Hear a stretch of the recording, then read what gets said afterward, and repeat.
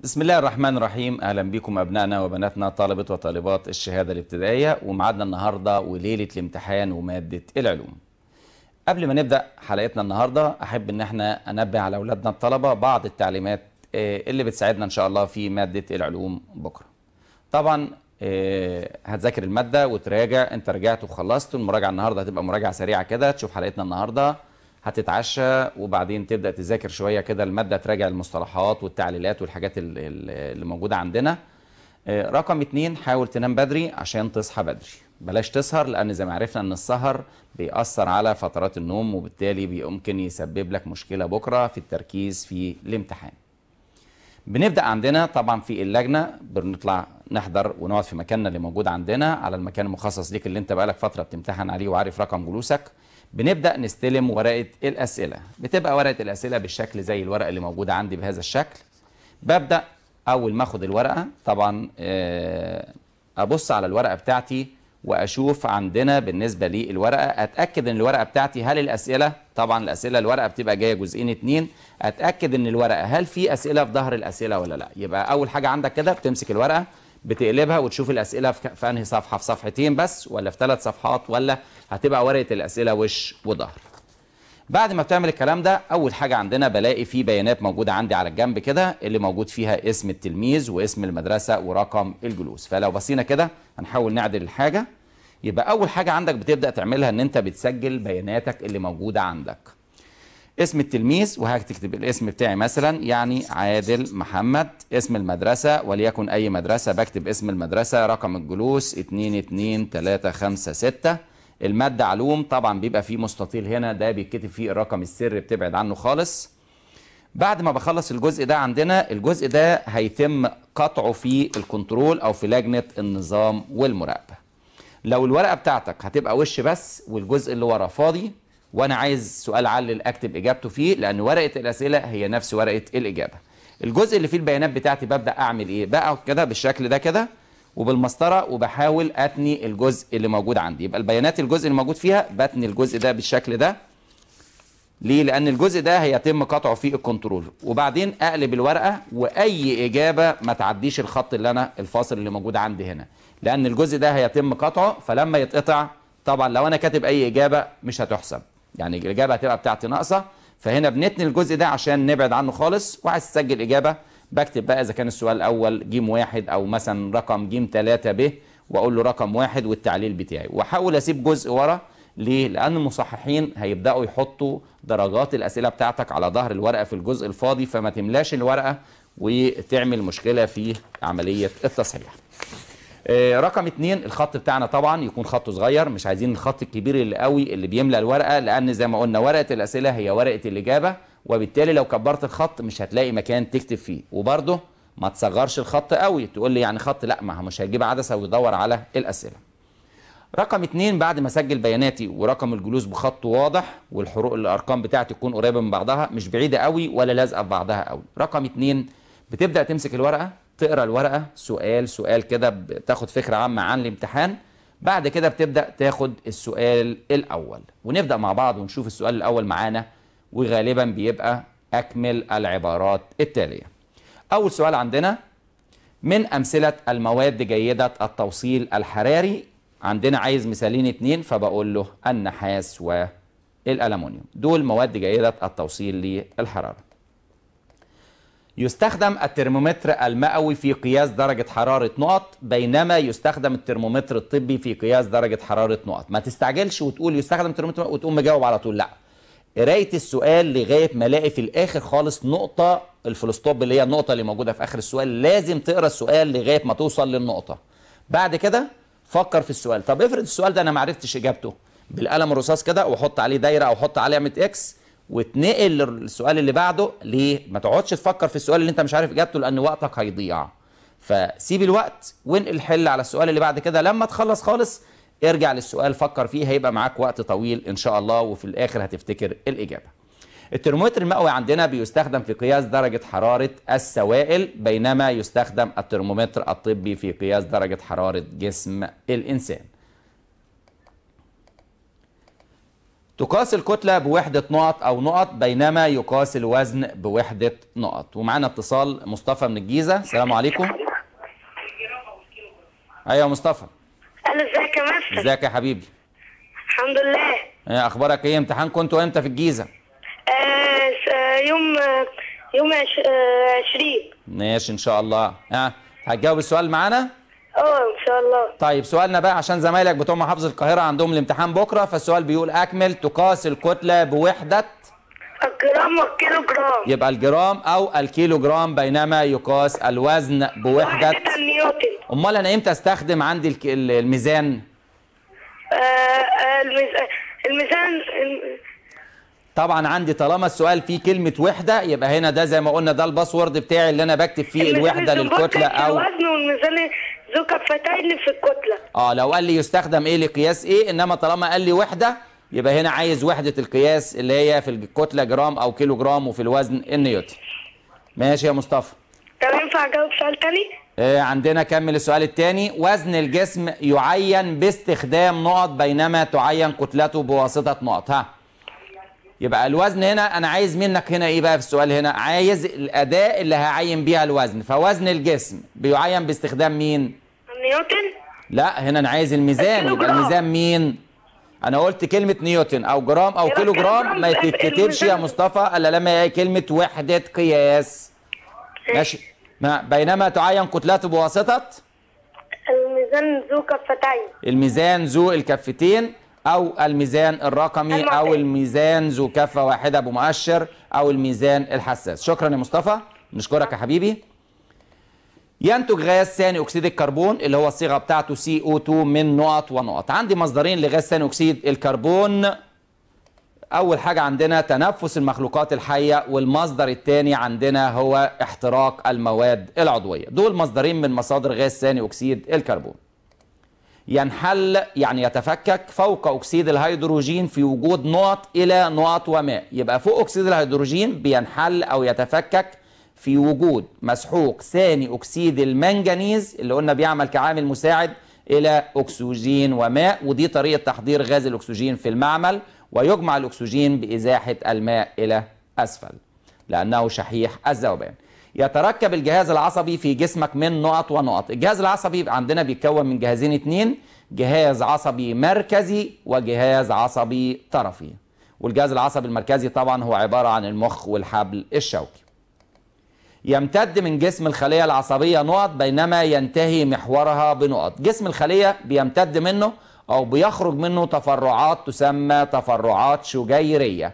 أما محور الخلية بينتهي بتفرعات انتهائية أو تفرعات منتهية. المادة الرمادية في المخ. طبعا هتبقى موجودة فين؟ في النصفين الكرويين. تكون بتكون لونها إيه؟ رمادية وهنا طبعا بتكون خارجية. يبقى المادة الرمادية في المخ بتكون خارجية بينما تكون داخلية في الحبل الشوكي وقلنا بتكون موجودة على شكل حرف H في الحبل الشوكي. يبقى الزئبق سائلا بين درجتي حرارة نقط ونقط سيليزية. الزئبق قلنا بيبقى سائلا بين درجة حرارة سالب 39 وقلنا سالب يعني ناقص 39 يعني 39 درجة تحت الصفر و 357 درجة سيليزية ولذلك قلنا بيعطي الزئبق مدى واسع لقياس درجة الحرارة. آه، معانا عبد الرحمن من كفر الشيخ وسؤالنا بيقول يبلغ عدد الأعصاب المخية نقط؟ بينما يبلغ عدد الأعصاب الشوكية نقط؟ أهلا يا عبد الرحمن. أهلا بك يا مصر. إزيك يا حبيبي؟ أخبارك إيه؟ الحمد لله. طيب هتجاوب معانا السؤال ده؟ آه. طيب إيه إيه الإجابة المحتملة هنا يا عبد الرحمن؟ يبلغ عدد الأعصاب المخية آه تبقى 12 12 آه. ها والأعصاب الشوكية؟ 31 هديك نص الدرجة يا عبد الرحمن. إيه رأيك؟ ماشي. طيب بص ليه بقى يا عبد الرحمن انت خدت نص الدرجة. عدد الأعصاب المخية قلنا كام يا عبد الرحمن؟ ع- عدد الأعصاب المخية آه. 12 زوج يا عبد الرحمن. هل 12 زوج زوج. بتساوي بتساوي 12 هيبقى 12 في 2 شفت بقى؟ يبقى انت هنا لو انت قلت 12 وسكت اصبح الإجابة غلط. لازم أقول 12 زوج. طب أنا مش عايز أقول كلمة زوج يا عبد الرحمن. يبقى أقول له كام عصب؟ هتبقى 12 في 24 24 عصب. هضرب ال 12 في كام؟ ب 24 هضرب ال 12 في 2 عشان كلمة زوج يبقى 24 عصب. بينما طب لو عايز أقول بقى الأعصاب الشوكية؟ آه تبقى أضرب 31 في 2 يبقى كام عندك؟ 62 عصب يا إما أضيف كلمة زوج إلى العدد. ماشي يا عبد الرحمن؟ شفت كلمة صغيرة أهي؟ ضيعت مننا درجة السؤال. يبقى عدد الأعصاب المخية كام يا عبد الرحمن؟ آه عدد الأعصاب المخية تبقى 12 أربع- زوج. 12 زوج. وعدد الأعصاب الشوكية؟ آه 31 31 زوج يا عبد الرحمن. ما انساش طب عدد الأعصاب اللي موجودة في جسم كلهم؟ هتبقى 12 في 2 ب 24 دول اللي موجودين في جسم كله. هجمع بقى الأعصاب المخية والشوكية مع بعض. هتبقى- هتبقى كام؟ 43 زوج. 43 زوج يا عبد الرحمن أو 86 عصب. شكرا يا عبد الرحمن. بنشكرك يا حبيبي. يجمع غاز الأكسجين بإزاحة نقط لأسفل بينما يجمع غاز ثاني أكسيد الكربون بإزاحة نقط. غاز الأكسجين بنجمعه بإزاحة الماء لأسفل وقلنا ليه؟ لأنه شحيح الذوبان في الماء.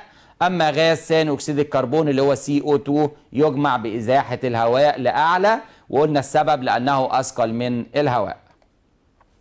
تتركب الخلية العصبية من نقط ونقط. الخلية العصبية عندي جزئين اتنين. أول جزء بنقول عليه جسم الخلية والجزء الثاني بنسميه محور الخلية العصبية. وقلنا الخلية العصبية هي وحدة بناء الجهاز العصبي. من أنواع العضلات الموجودة عندنا في جسمنا نوعين اتنين من العضلات عضلات إرادية وعضلات لا إرادية. يتركب المخ من نقط والمخيخ ونقط. يبقى المخ عندي ثلاث مكونات بيتكون من النصفين الكرويين والمخيخ والنخاع المستطيل. دول الثلاث مكونات بتوع المخ.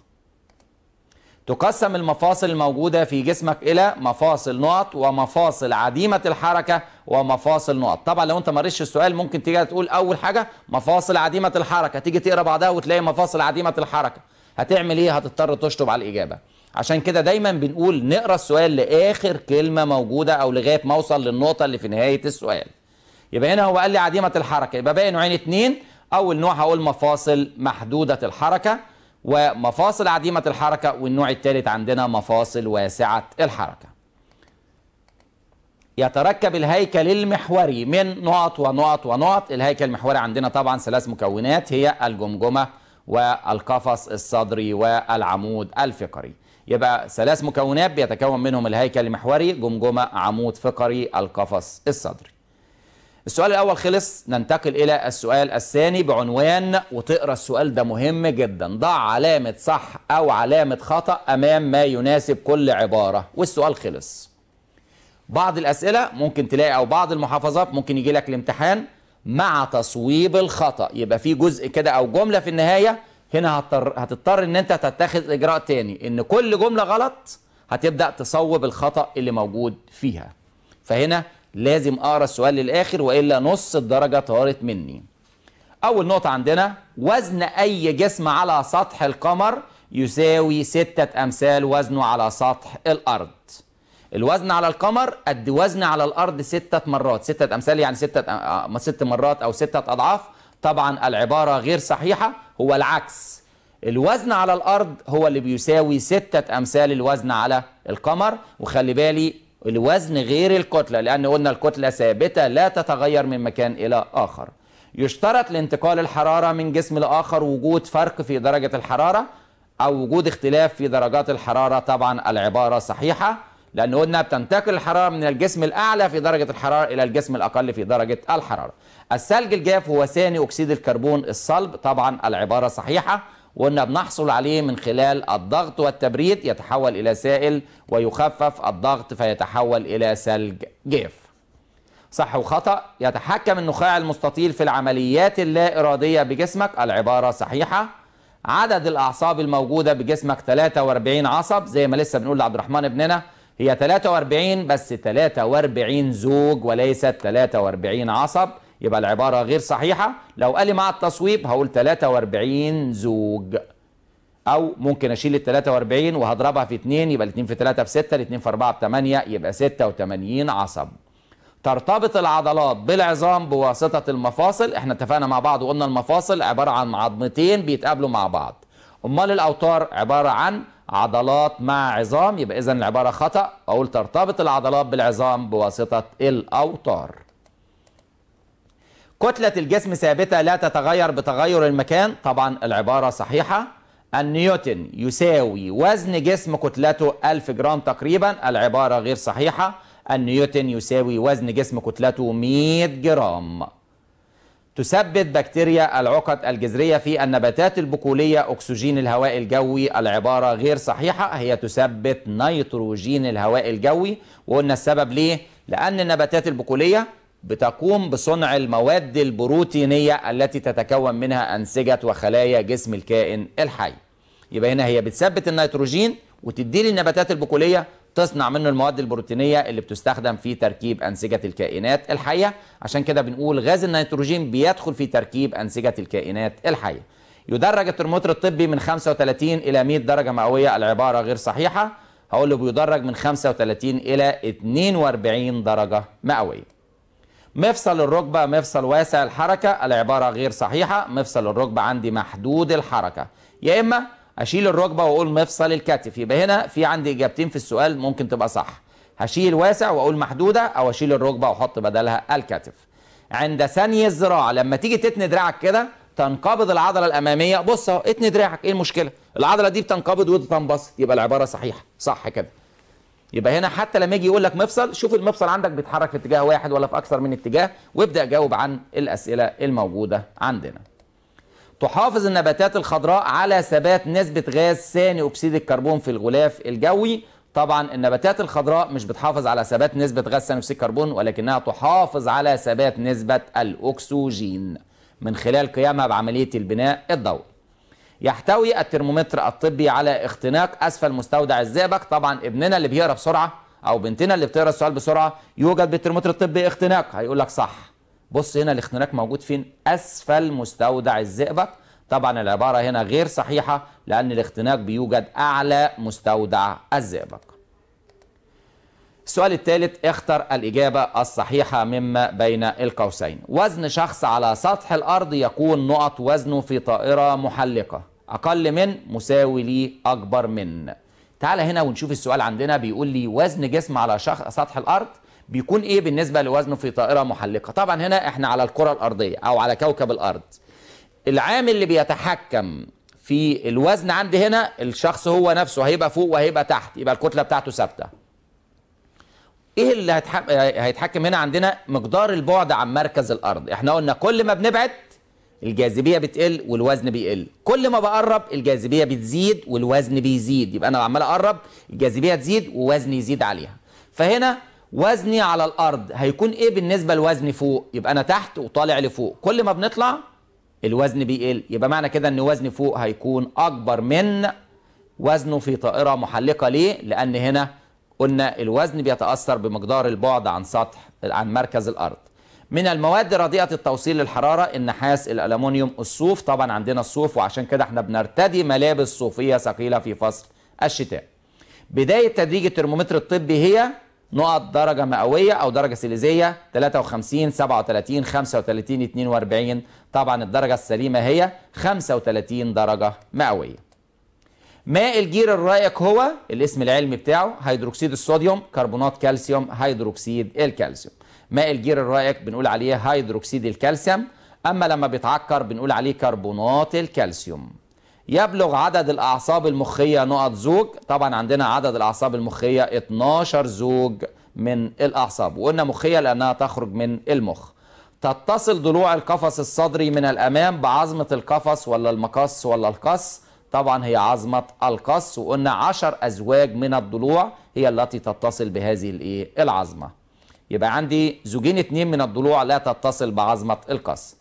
تظهر المادة الرمادية بالحبل الشوكي على شكل حرف طبعا عندنا حرف H تسمى التفرعات التي تخرج من جسم الخلية العصبية اللي طالعة من الجسم بنقول عليها تفرعات شجيرية. تقسم المفاصل الموجودة بجسمك إلى نقط أنواع ثلاثة خمسة أربعة عندي ثلاث أنواع عديمة محدودة واسعة. جسم على سطح القمر كتلته 60 كيلو جرام فيكون وزنه كام عندنا؟ الجسم ده عندنا كتلته 60 كيلو جرام طب الوزن بتاعه هيكون على الأرض قد إيه؟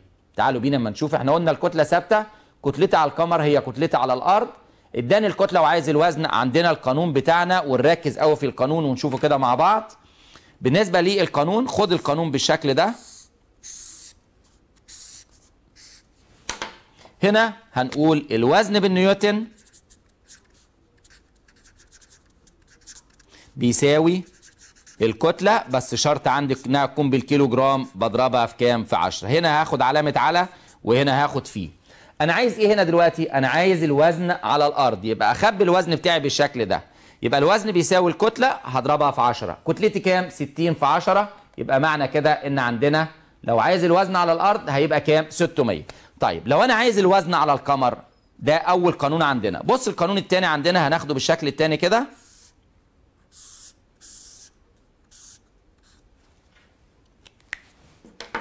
هنا الوزن على الأرض. الوزن على الأرض بيساوي الوزن على القمر وهنا ستة. هنا علامة في وهنا على. أنا عايز الوزن على مين دلوقتي؟ عايز الوزن على القمر. يبقى الوزن على القمر بخبيها يتفضل الوزن على الأرض هقسمه على 6 يبقى 60 في 10 على 6 هتديني 100 نيوتن. يبقى هنا لو هو عايز الوزن على الأرض هيبقى 60 في 10 عايز الوزن على القمر يبقى 60 في 10 على 6 تديني 100 نيوتن. نهاية التدريج في الترمومتر المئوي هو نقط درجة مئوية 42 100 3500 طبعا عندنا هي 100 درجة مئوية. ممكن يجي لي يقول لي أكمل بقى في نقطة هنا يقول لي إيه؟ أعلى درجة حرارة في الترمومتر المئوي تمثل. أعلى درجة اللي هي ال100 بتمثل إيه عندنا؟ درجة غليان الماء. أقل درجة حرارة في الترمومتر المئوي بتمثل إيه عندنا؟ اللي هو الصفر بيمثل درجة انصهار الثلج أو درجة تجمد الماء. جزيء غاز الأوزون يرمز له بالرمز O4O3O2 طبعا عندنا O2 اللي هو الأكسجين يبقى O3 هو غاز الأوزون وبيتكون من ثلاث ذرات أكسجين وبيكون طبقة الأوزون اللي بتحمينا فيه من الأشعة فوق البنفسجية الضارة. يعوض النقص في أكسجين الهواء الجوي عن طريق عملية التنفس ولا البناء الضوئي ولا التغذية؟ طبعا الأكسجين النقص اللي إحنا بنستهلكه في عملية التنفس والاحتراق بيعوض بعملية البناء الضوئي. مكتشف غاز النيتروجين هو العالم دانيال رازرفورد. المفصل موضع اتصال طرفي عظمتين مع بعض ترتبط العضلات بالعظام بواسطة الأوتار وقلنا هي عبارة عن أربطة طويلة تربط العضلات بالعظام. السطح الخارجي للنصفين الكرويين رمادي اللون ويسمى ب بنقول عليه القشرة المخية. وقلنا بيكسر بها الثنايات والتلافيف. تتميز الخلايا العضلية بقدرتها على الانقباض والانبساط وقلنا إن العضلات هي المحرك الأساسي للجسم. ممكن يجي يقول لعل لما ياتي تعتبر العضلات هي المحرك الأساسي للجسم. إيه السبب عندنا؟ لأنها تولد القوة الميكانيكية والحركة للجسم. يبقى القوة بتاعتك اللي بتحرك جسمك ناشئة منين؟ جاية من العضلات لأن لها القدرة على الانقباض والانبساط. مفاصل الجمجمة طبعا عندنا نوعها عديمة الحركة لأنها لا تسمح بأي حركة. السؤال الرابع عندنا وهو اكتب المصطلح العلمي الذي تدل عليه العبارات التالية. مقدار ما يحتويه الجسم من مادة يبقى المصطلح ده عندنا هو الكتلة. وحدة قياس الكتلة وتكافئ تقريبا كتلة لتر من الماء يبقى عندنا ده الكيلو جرام لو قال لي كتلة مشبك الورق يبقى هقول له الجرام. السائل المفضل استخدامه في صناعة الترمومترات يبقى السائل هنا هو الزئبق.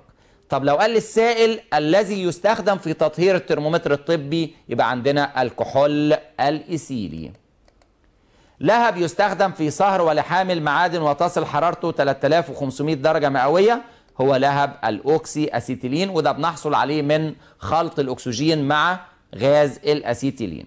غاز زيادة نسبته في الهواء الجوي تسبب ظاهرة الاحتباس الحراري. هذا الغاز هو غاز ثاني أكسيد الكربون اللي بنرمز له ب CO2 عضو يتكون من مادة رمادية على شكل حرف اتش تحيط بها مادة بيضاء يبقى ده الحبل الشوكي. توجد بين فقرات العمود الفقري أو الفقاري وتمنع احتكاكها ببعض أثناء الحركة. طبعا الموجودة عندنا بين فقرات العمود الفقري هي الغضاريف. عضلات نستطيع تحريكها بإرادتنا أقدر أتحكم فيها وأحركها بإرادتي بنسميها عضلات إرادية.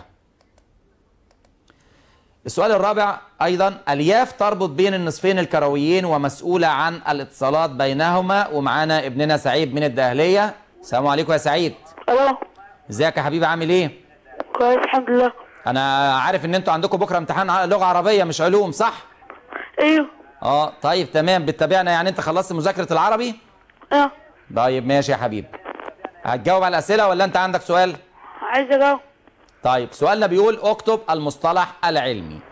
ألياف تربط بين النصفين الكرويين ومسؤولة عن الاتصالات بينهما. آه ألياف تربط بالنصفين بين النصفين الكرويان ومسؤولة عن, عن الاتصالات بينهما. اسمها إيه؟ بنقول عليها إيه ديت يا سعيد؟ آه. ها؟ الياف عصبية. الياف إيه؟ عصبية. عصبية. طيب الياف عصبية. الياف العصبية قلنا بتربط بين النصفين الكرويين عشان توصل بينهم. مقدرة الكائن الحي على تغيير مكانه في الوسط الذي يعيش فيه. مقدرة الكائن الحي الذي. ع- الحي على تغيير مكانة آه ده مصطلح إيه يا سعيد؟ المصطلح العلمي. مصطلح طيب المصطلح ده اسمه إيه؟ بنقول عليه إيه؟ بنسميه إيه؟ آه الخلية آه؟ الحركة. الحركة. ده إيه يا سعيد؟ ده الحركة يا سعيد. آه عندك أنت أي سؤال يا سعيد؟ لا. شكرا يا حبيبي بنشكرك. ربنا يوفقك بقى بكرة في اللغة العربية. إحنا طبعا بنشكرك إن أنت يعني سايب العربي وقاعد تتابع آه حلقة العلوم. قوة جذب الأرض للجسم المصطلح العلمي عندنا هو الوزن. مواد لا تسمح بمرور الحرارة من خلالها يبقى بنقول عليها أهو خلي بالك من حرف لا لأن هنا بتختلف. لو قال لي تسمح غير لا تسمح. مواد لا تسمح يبقى بنقول عليها مواد رديئة التوصيل للحرارة. مؤشر يساعدنا في التعبير عن مدى سخونة أو برودة الجسم بنقول عليه درجة الحرارة. مادة تزيد من سرعة التفاعل الكيميائي دون أن تتغير قلنا ده بنقول عليها العامل المساعد اللي بيزود من سرعة التفاعل لكنه لا يحدث له أي تغير.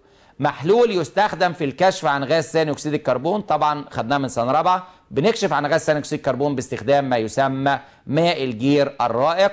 طب افرض بقى زميلك التاني كتب إجابة تانية برضه هتبقى صح اللي هو لو كتب الاسم العلمي ليه اللي هو هيدروكسيد الكالسيوم. استجابة تلقائية من الجسم نحو المؤثرات المختلفة. وطبعا عندنا هذه الاستجابة بنقول عليها الفعل المنعكس والمسؤول عنها الحبل الشوكي. معنا اتصال إيمان من القليوبية. السلام عليكم يا إيمان. عليكم السلام ورحمة الله. أخبارك إيه؟ كويس. هتمتحنوا إمتى؟ بكرة. عربي برضو؟ لا علوم؟ علوم بكرة. طب كويس يعني مع القاهرة أهو. آه. عندك أي سؤال؟ لا عايزة اتسأل طيب سؤالنا بيقول اكتب المصطلح العلمي يا إيمان. أربطة طويلة تربط العظام بالعضلات. العظام بالعضلات أوتار. الأوتار تمام. يصل المخ بالحبل الشوكي. كما أنه مسؤول عن العمليات اللا إرادية آه، آه، مم. آه، النخاع المستطيل. جميل. يعني حتى لو ما عرفتش حتة إن هو بيصل المخ بالحبل الشوكي أشوف مين المسؤول عن العمليات اللا إرادية هيظهر لي هو النخاع المستطيل. فيتامين يقي الجسم أو يحمي الجسم من الإصابة بمرض لين العظام والكساح يا إيمان. يبقى؟ فيتامين C. لا فيتامين د. إحنا عندنا في الجهاز الحركي قلنا الأكل بتاعي لازم يكون فيه عنصرين اتنين كالسيوم وفوسفور ومعاه فيتامين د اللي بيحمينا من مرض الكساح ولين العظام. طبقة في الغلاف الجوي تحمي الكائنات الحية من أخطار الأشعة فوق البنفسجية الضارة القادمة من الشمس. طبقة الأوزون. طبقة الأوزون. شكرا يا إيمان بنشكرك. يبقى عندنا طبقة الأوزون. السؤال الخامس اذكر وظيفة أو استخداما واحدا لكل مما يلي يبقى عايز حاجة واحدة بس ما تجيش تقول له بقى خمسة ستة لا. يعني ما يجيش يجي يقول لي استخدام الزئبق. ما تجيش بقى تقول لي بستخدمه في صناعة الترمومترات لأنه واحد اتنين. لا هو عايز فايدة واحدة أو استخدام. النصفين الكرويين لها ثلاث فوائد عايز فايدة واحدة. فهنا الميزان الحساس إيه وظيفته؟ تعيين الكتل الصغيرة. واحد تاني يقول لي تعيين كتل المشغولات الذهبية. تمام؟ واحد يقول لي تعيين كتل تركيبات الأدوية. صح الدواء اللي بيتركب لازم بيكون طبعا بكميات ضئيلة جدا فبستخدم الميزان الحساس. الترمومتر المئوي استخدامه إيه؟ طبعا هو له استخدام قياس درجة حرارة السوائل.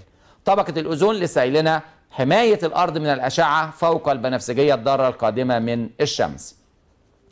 الطرفين العلويين هو عايز وظيفة واحدة. إحنا هنا كتبنا ثلاث وظائف لكن هو عايز وظيفة واحدة هتختار أي واحدة من الثلاثة عندنا إحنا هنا. بنحاول نظهر لك الإجابات كلها وأنت هتختار في الامتحان إجابة واحدة. ت- تناول الطعام والشراب الكتابة الإمساك بالأشياء عندنا الأوتار وظيفتها ربط العضلات بالعظام. ومعانا داليا من أسوان. ألو ألو؟ السلام عليكم. ألو إزيك يا داليا؟ الحمد لله. عاملة إيه؟ أخبارك إيه؟ كويس امتحان العلوم بتاعنا إمتى؟ 26 طيب تمام. آه نبدأ نشوف عندنا عندك أي سؤال أنت أو استفسار؟ آه. اتفضلي إيه، أكتب ألو... أكتب وظيفة ل... لما يأتي. مم. إيه، نعلي صوتنا بس يا داليا ها. وظيفة العضلات. ها. أول وظيفة لمين؟ العضلات. العضلات عندنا لسه بنقول العضلات بتولد إيه يا داليا؟ ها تولد القوة الميكانيكية والحركة للجسم. ماشي يا داليا؟ أوكي. يبقى وظيفة العضلات بتولد القوة الميكانيكية والحركة للجسم. سؤال تاني؟ لا. شكرا شكرا يا داليا بنشكرك. يبقى العضلات عندنا آه السؤال حتى موجود على على الشاشة اهو يا داليا. لو بصيت كده العضلات وظيفتها توليد القوة الميكانيكية والحركة للجسم أو الحركية للجسم. الجمجمة وظيفتها حماية المخ والعينين وباقي أعضاء الرأس. المفاصل تسمح بحركة الجسم أو أجزاء منه. غاز ثاني أكسيد الكربون طبعا له استخدامات متعددة هو عايز استخدام واحد ممكن أقول أستخدم في إطفاء الحرائق أو يستخدم في صناعة الثلج الجاف أو يستخدم في حفظ الاغذيه في عندنا حفظ الأغذية عن طريق الثلج الجاف أو يدخل في عملية البناء الضوئي أو صناعة المياه الغازية. يبقى عايز إجابة واحدة. ثاني أكسيد المنجنيز وظيفته قلنا يعمل كعامل مساعد عند تحضير غاز الأكسجين. الأعصاب عندنا طبعا في نوعين أعصاب حسية وأعصاب حركية. فبنقول بتنقل الرسائل العصبية مش هحدد بقى نوعها من أجزاء الجسم المختلفة إلى المخ والحبل الشوكي والعكس. الزئبق بيدخل في صناعة الترمومترات سواء كان طبي أو مئوي. الميزان الزنبركي له وظيفة واحدة وهي تعيين وزن الأجسام. النصفين الكرويين لها ثلاث وظائف هتقول أي وظيفة منهم التحكم في الحركات ال- الإرادية أو عندنا يحتوي على مراكز التفكير والتذكر أو يحتوي على مراكز استقبال الحواس الخمسة؟ المخيخ بيقول لي هنا آه ده سؤال جديد بقى خلي بالك معايا. بيقول حدد موقع كل مما يلي مكانه فين في جسمك؟ إيه هنا. طبعا المخيخ موجود فين في جسمي؟ بقول له أسفل النصفين الكرويين من الجهة الخلفية للمخ. الغضاريف مكانها فين؟ توجد بين فقرات العمود الفقاري. المفاصل عديمة الحركة موجودة فين؟ بين عظام الجمجمة. الأعصاب المخية فين مكانها؟ بقول له تخرج من المخ. طبقة الأوزون موجودة في الغلاف الجوي. مراكز التفكير والتذكر قلنا موجودة فين؟ في النصفين الكرويين بالمخ. التفرعات الشجيرية مكانها فين؟ بتمتد من جسم الخلية العصبية المفاصل. هنا موجودة فين؟ بين طرفي عظمتين ومعانا منا من القاهرة. السلام عليكم يا منا وعليكم السلام ورحمة الله وبركاته. ها مستعدة للامتحان بكرة؟ آه مستعد إن شاء الله بإذن الله. عندك استفسار ولا حاجة؟ لا ما عنديش سؤال. أنا عايزة أتسأل. عايزة تتسأل. طيب حدد موقع كل من مكان الحاجة دي فين يا منا الأوتار موجودة فين؟ الأوتار موجودة بين العظام العظام والعضلات. أيوه موجودة بين العضلات والعظام. الحبل الشوكي مكانه فين في الجسم؟ الحبل الشوكي مو- موجود بين بين في العمود الفقري. في قناة داخل تجويف العمود الفقري أو داخل فقرات العمود الفقري. عندنا البكتيريا العقدية موجودة فين دي يا منى ها البكتيريا العقدية دي موجودة على فين يا منى جذور النباتات الإيه؟ جذور النباتات البقولية. البقولية زي الفول والبرسيم والبسلة. وقلنا عندنا إن أثناء حدوث البرق عندنا طبعا بيتحد الأكسجين مع النيتروجين ويكون اكاسيد النيتروجين اللي بتمتصها النباتات البقولية. شكرا يا منى بنشكرك. نيجي بقى عندنا للمسائل وطبعا عندنا مسألة ممكن تيجي في الكتلة والوزن. هناخد كام فكرة كده عندنا. أول فكرة عندنا بيقول لي جسم كتلته 60 كيلو جرام على سطح الأرض احسب. عايز كتلته على سطح القمر وزنه على سطح الأرض وزنه على سطح القمر. يبقى أول حاجة قريت المسألة عرفت إن هو مطلوب مني ثلاث حاجات عايز كتلته على سطح القمر. يبقى أول حاجة عندنا بقول له الكتلة على سطح القمر هتساوي 60 كيلو جرام هي نفس الرقم اللي موجود فوق. هاخده أعمل منه نسخة تحت وأحطه تحت. ليه؟ لأن إحنا قلنا الكتلة دي اسمك. مهما تروح في أي بلد اسمك ثابت. فالكتلة على الأرض هي نفسها الكتلة على القمر. نيجي بقى عايز الوزن على سطح الأرض. طبعا زمايلنا بيقولوا 60 في 10 تديني 600 نيوتن. هقول له لا غلط. كده انت نقصت درجة. ليه؟ لأن المسألة عندي عشان أحلها محتاج إلى القانون اللي هحل بيه المسألة. فهنا نشوف إزاي هتتحل الفقرة ب. بقول له الوزن على الأرض بيساوي الكتلة بالكيلو جرام مضروبة في 10 هتساوي كتلتي 60 هضربها في 10 هتساوي 600 نيوتن. يبقى الكتلة بالكيلو جرام في 10 هتساوي 60 في 10 بتساوي 600 نيوتن. ده الوزن على الأرض. طب لو أنا عايز الوزن على القمر هيساوي وزن على الأرض مقسوم على 6 يبقى الوزن على الأرض 600 اللي إحنا طلعناها فوق وطالما انت طلعت الناتج بالآلة الحاسبة سيب الناتج زي ما هو لأنك هترجع تقسمه تاني على 6 فما تمسحش وتقفل الآلة زي بعض زمايلكم كده يجي يطفي الآلة أو يمسح الرقم. سيب الرقم لأن انت هتستخدمه تاني هيوفر معاك الوقت. يبقى 600 على 6 هتساوي 100 نيوتن. الفكرة الثانية عندنا جسم وزنه 30 نيوتن على سطح القمر. احسب وزنه على سطح الأرض وكتلته على سطح الأرض. يبقى هنا الجسم وزنه 30 نيوتن. يبقى ال ال الوزن عندي 30 إيه؟ 30 نيوتن. طيب أنا عشان أجيب اداني الوزن دلوقتي وعايز الكتلة القانون بتاعنا لو نفتكر كده إحنا كنا القانون بنقول إيه عندنا عشان نحطه؟ القانون عندنا بنقول إن الكتلة لو اداني الوزن وعايز الكتلة بقسم على 10 يبقى هنا القانون بتاعي يعني نحاول ناخد القانون الاثنين أنا هكبر القانون الاولاني كده بحيث ناخده بالشكل ده. هنا الوزن بالنيوتن. طبعا المثلث ده لو أنا شغال على مين؟ على الأرض عشان نفهم برضو بيساوي. بيساوي إيه عندنا؟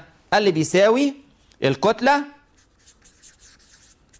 بالكيلو جرام مضروبة في كام؟ في 10 هنا دي علامة على وهنا هاخد علامة في. الحاجة اللي مطلوبة مني دايما بتخبيها بإيدك.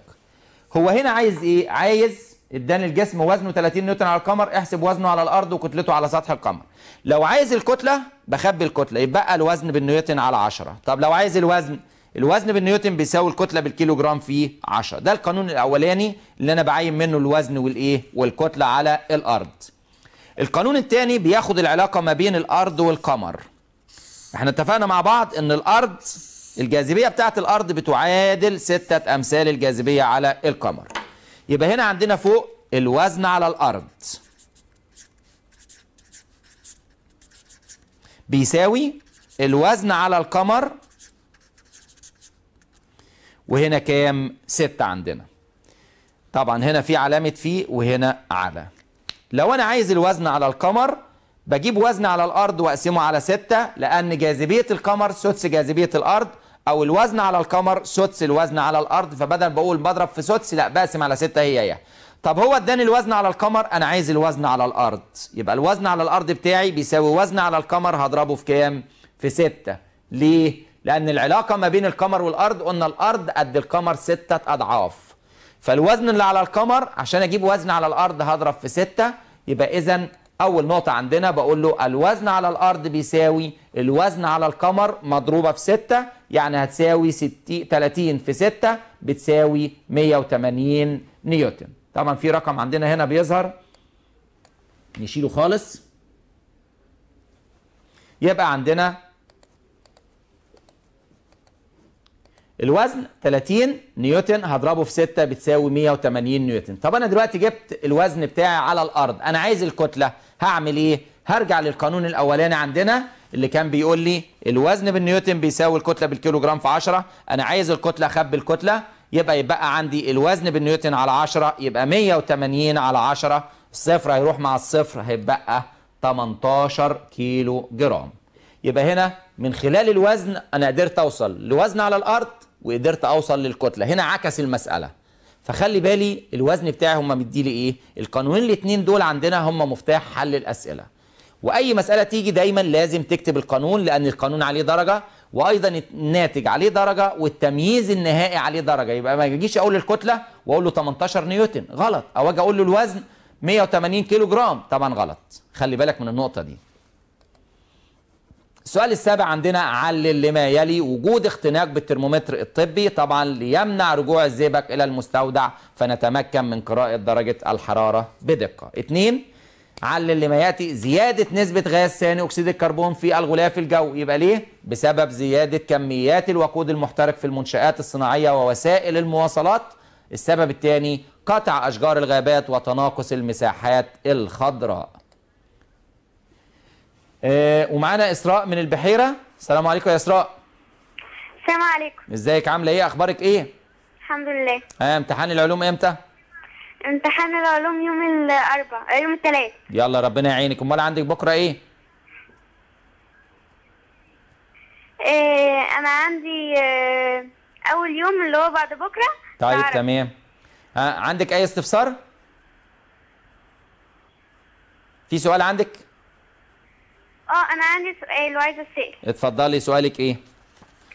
إيه عن غاز النيتروجين. ماشي اتفضلي.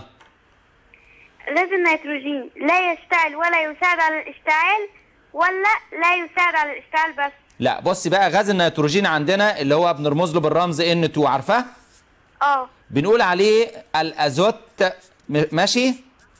ومعنى الأزوت يعني إيه؟ عديم الحياة. ماشي كده يا إسراء؟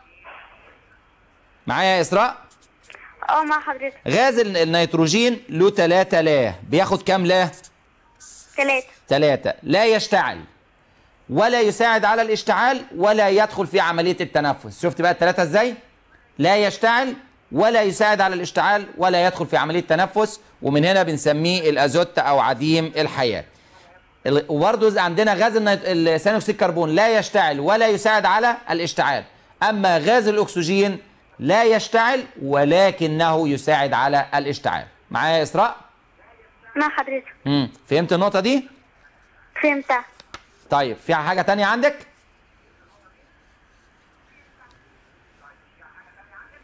شكرا يا إسراء. بيمرر على اللي ما يأتي يمرر الهواء الجوي على محلول هيدروكسيد الصوديوم المركز عند تحضير غاز النيتروجين في المعمل يبقى السبب للتخلص من غاز ثاني أكسيد الكربون أو لامتصاص ثاني أكسيد الكربون من الهواء الجوي. علل مفصل الكوع من المفاصل محدودة الحركة. أي مفصل يقول لي من مفاصل محدودة الحركة؟ لأن هم اتنين عندنا الكوع و أو المرفق والركبة أو لأنه يتحرك في اتجاه واحد فقط. إصابة النخاع المستطيل تؤدي إلى الوفاة. إيه السبب؟ لأنه يتحكم في العمليات اللا اراديه مثل ضربات القلب وحركة الجهاز التنفسي والجهاز الهضمي. علل لما يأتي تصنع النوافذ في البلدان الباردة من لوحين زجاج بينهما مسافة أو بينهما هواء. ليه؟ لأن الهواء رديء التوصيل للحرارة مما يعمل على احتفاظ المنزل بحرارته وعدم تسربها للخارج فيشعر بالدفء. علل تظل نسبة الأكسجين ثابتة في الغلاف الجوي. هنقول السبب لقيام النبات بعملية البناء الضوئي وتعويض ما يستهلك منه. يحترق سلك تنظيف الأواني المصنوع من الحديد بينما لا يحترق مسمار الحديد. إيه السبب؟ لأن السطح الخارجي للسلك كبير مما يساعد على تفاعله مع الأكسجين. وقلنا إن كتلة المواد بتزيد بعد اتحادها مع غاز الأكسجين. لطبقة الأوزون أهمية كبيرة في استمرار الحياة على سطح الأرض. السبب لأنها تمتص الأشعة فوق البنفسجية الضارة القادمة من الشمس وتحمينا من أخطارها. برضو عندنا في مصطلح علمي كده بيقول لي إيه؟ ذرات دقيقة من الغبار والأتربة والدخان والغازات المتصاعدة وتوجد في الهواء الجوي. دي بنقول عليها الأجسام العالقة وقلنا بتعتبر من ملوثات الهواء الجوي ولكنها تفيد في تكثف بخار الماء وسقوط الأمطار. وقلنا عشان كده دايما ساعة ما بنلاقي السحابة كده غيمت ولونها أسود نعرف إن الجو هيمطر لأن في الحالة دي بيكون اتحد الغازات والدخان وال- والغبار والأتربة مع بخار الماء. يتعكر ماء الجير الرائق عند إمرار غاز ثاني أكسيد الكربون فيه إيه السبب؟ لتكون كربونات الكالسيوم البيضاء التي لا تذوب في الماء. علل تضاف الخميرة إلى العجين عند صناعة الخبز. حتى يختمر العجين ويتصاعد غاز ثاني أكسيد الكربون الذي يتمدد بفعل الحرارة مما يجعل الخبز مسميا مستساغ أو مقبول الطعم علل وجود غضاريف بين فقرات العمود الفقاري يبقى ليه حتى لا تتآكل نتيجة احتكاكها ببعضها أو لحماية فقرات العمود الفقري من الاحتكاك والتآكل. يقع المخ داخل الجمجمة أما الحبل الشوكي فيقع داخل عندنا بالنسبة بيقع داخل مين؟ العمود الفقري. يبقى هنا لو قلنا ده العمود الفقري بيقع داخله مين؟ الحبل الشوكي. وليه المخ موجود جوه الجمجمة؟ يبقى إيه السبب عندنا؟ لتوفير الحماية لكل منهما. يبقى السبب عندنا لتوفير الحماية لكل منهما. يستخدم غاز النيتروجين حديثا في ملء إطارات السيارات والطائرات. يبقى إيه السبب؟ بسبب الثبات النسبي لحجمه مع تغير درجات الحرارة. طب مش قادر أقول الكلام ده هقول ليه؟ لأن حجمه يظل ثابتا مع تغير درجات الحرارة. يستخدم غاز النيتروجين في أجواء خزانات السوائل القابلة للانفجار. إيه السبب؟ لأنه لا يساعد على الاشتعال فيعمل كمادة غير نشطة. ماذا يحدث عند؟ ده نوعية جديدة من الأسئلة.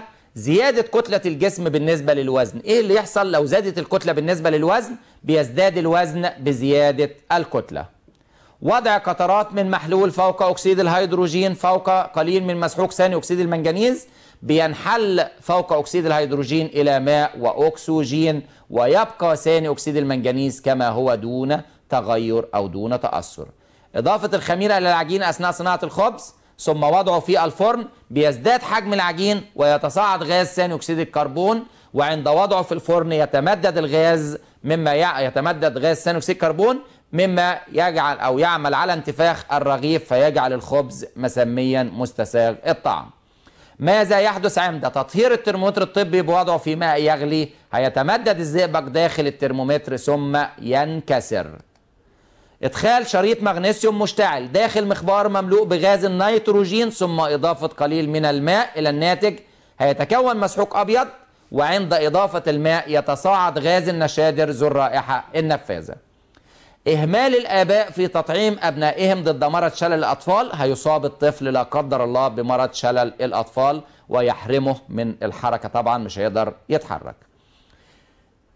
إشعال شريط مغنيسيوم في مخبار مملوء بغاز ثاني أكسيد الكربون. ومعانا ابننا محمد من القاهرة. السلام عليكم يا محمد. عليكم السلام. إزيك يا حبيبي؟ عامل إيه؟ الحمد لله. جاهز للامتحان بكرة إن شاء الله؟ آه إن شاء الله. إن شاء الله. عندك أي استفسار يا حبيبي؟ آه أنا عايز أعرف بس المادة الر- المادة الداخلية للمخ آه، آه، بيكون لونها إيه؟ والمادة الخارجية للمخ برضه يكون لونها إيه؟ طيب بص يا محمد عشان أقارن كده إحنا عندنا حاجتين عندنا المخ وعندنا الحبل. الشوكي. ماشي يا محمد؟ ماشي. عندي مادتين خارجية وعندي مادة إيه؟ داخلية. في المخ المادة الخارجية لونها رمادي. يبقى في الخارجية رمادي في المخ. طب في الحبل. الشوكي بيضاء. بيضاء. طيب المادة عندنا بالنسبة للمادة الداخلية في المخ مادة؟ الداخلية؟ بيضاء آه، في المخ. بيضاء. ماشي؟ يبقى هنا خلي بالك دول عكس بعض. وفي الحبل الشوكي المادة آه، الداخلية رمادية. مادة؟ رمادية وعلى شكل حرف إيه يا محمد؟ H. H يا حبيبي. ماشي يا محمد؟ أي استفسار ماشي. تاني يا حبيبي؟ لا شكرا. شكرا يا حبيبي. يبقى عند إدخال شريط مغنيسيوم في مخبار مملوء بغاز ثاني أكسيد الكربون إيه اللي هيحصل عندنا هنا؟ يستمر شريط المغنيسيوم في الاشتعال ويتحول إلى مسحوق أبيض من أكسيد المغنيسيوم ويترسب عنصر الكربون الأسود على جدار المخبار.